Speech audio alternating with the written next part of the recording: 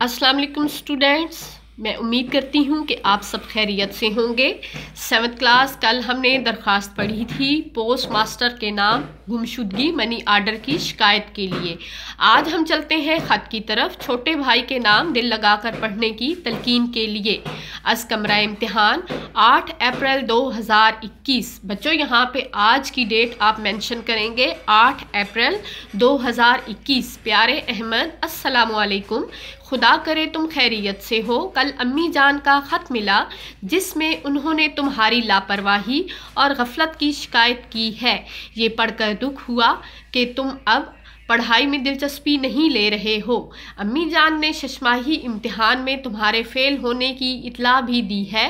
तुम्हारी ये नाकामी, तुम्हारी गफलत उन्हीं का नतीजा है। हमारे वालदेन कितनी मुश्किल से हमारी पढ़ाई का खर्च उठाते हैं। अभी भी तुम्हारे पास वक्त है, दिल लगा कर पढ़ो। अपनी पढ़ाई पर तवज्जो दो। मुझे उम्मीद है कि तुम मेरी इस बात को पल्ले बांधोगे। घर में सबको सलाम। तुम्हारा भाई अलिफ बे जीम। जी बेटे, जहाँ पे आपने तुम्हारा भाई लिखना है, उसके नीचे आप अपना नाम नहीं लिखेंगे, वहाँ पे आप अलिफ बे जीम लिखेंगे।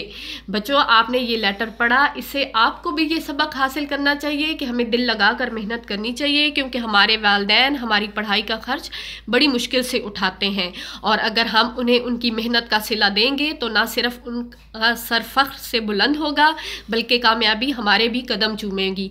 जी बच्चों, आपने दिल लगा कर पढ़ना है, ताकि कल को आपको किसी भी मुश्किल का सामना सामना ना करना पड़े अपना ख्याल रखिएगा। अल्लाह हाफिज़।